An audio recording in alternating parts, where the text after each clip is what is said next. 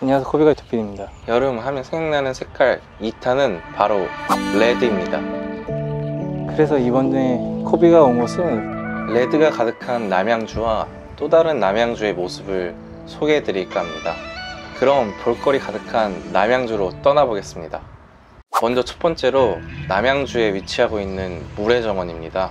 물회정원은 강변역 기준으로 서울에서 멀지 않은 곳에 위치하고 있는데요. 지금 물회정원은 빨간색이라고 얘기해도 될 정도로 양귀비가 가득 피어 있습니다. 사실 지금 물회정원은 일출 시간에 오시는 것을 저는 추천합니다.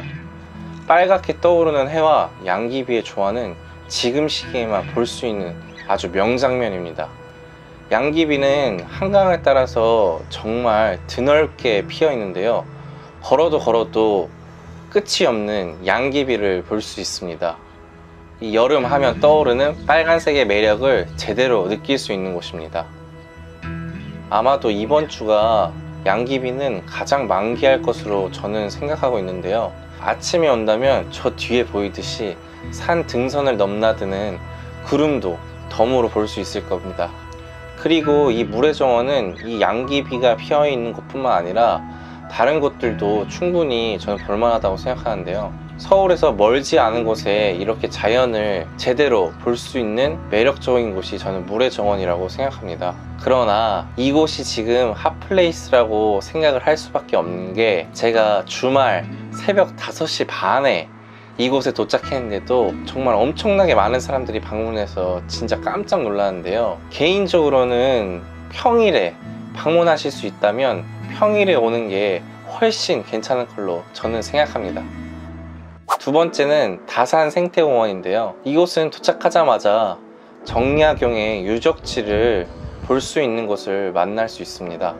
이곳은 특별한 매력이 있는 곳은 아니고 그냥 유적지로 가볍게 보고 저는 지나가면 될 것 같은데요. 그리고 그 유적지 앞에 생태공원을 갈 수 있는 길이 있는데 그 길을 따라오다 보면 생태공원에 도착하게 되는데요.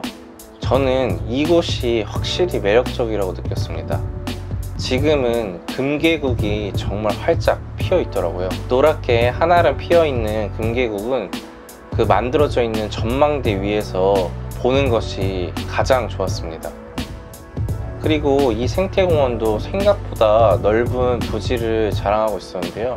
금계국이 피어 있는 곳은 생태공원을 들어와서 가장 왼쪽 편에 가득 피어 있기 때문에 이곳은 약간 구석이라 꼭 여기까지 와보셨으면 좋겠습니다.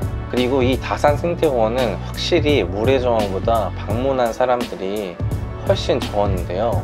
그 오신 분들을 제가 보니까 돗자리도 갖고 오고 간이 의자도 갖고 와서 이곳에 앉아서 여유로움을 정말 가득 느끼고 계시더라고요.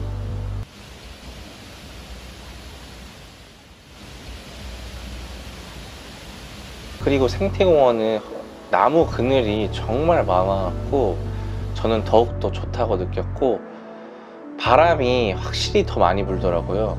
그래서 시원한 바람을 느끼면서 나무 그늘 아래 있으면 와 여름에도 덥지 않을 것 같다고 저는 생각했습니다. 바로 근처에 있는 남양주에서 엄청 유명한 포토스팟인 능내역이 있기 때문에 능내역까지 즐겨주시면은 저는 더욱더 좋을 것 같습니다. 마지막으로는 남양주에 있는 삼패지구 있는데요.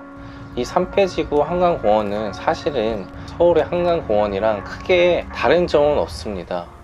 하지만 서울에 있는 한강공원보다는 확실히 더 여유롭기 때문에 오히려 북적대는 서울 한강공원보다 이쪽으로 오시는 게 저는 더 나을 거라고 생각하는데요.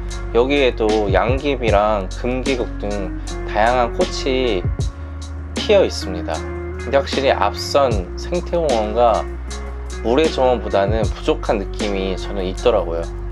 또 이곳은 자작나무 길이 조성이 되어 있어서 이 밑에서 즐기는 휴식도 정말 매력적이더라고요. 소박하고 작은 자작나무 길에서 휴식을 즐기는 것도 이 삼패 지구에서만 느낄 수 있는 매력 포인트입니다. 이곳의 가장 매력은 아무래도 앞선 두 곳보다 확실히 사람은 적다는 것 그리고 훨씬 더 여유롭다는 게 가장 큰 매력이고요.